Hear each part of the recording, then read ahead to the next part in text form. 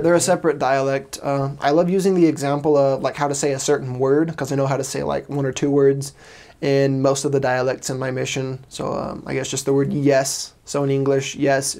In Tagalog, uh, depending on how you want to say it, if you want to say it like casually, like to friends, uh oh, just two O's.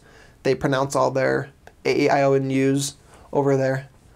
Um, so yeah, uh oh, just casually. Opo if you're talking to someone respectfully.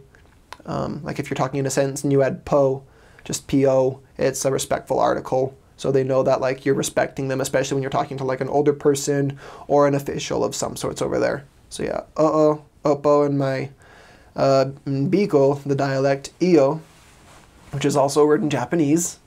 I learned from a friend here. And then in the Rinconada dialect, amo is yes. And then apparently, I learned this from the missionaries in the mission beneath us that yes in their languages, au or something close to that line, AWU.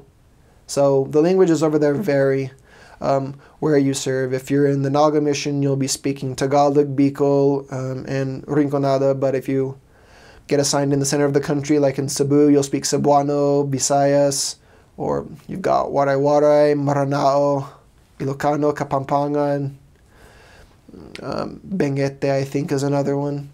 There's 70 plus dialects over there. There's a lot of different ways to communicate with people, but it's it's really fun.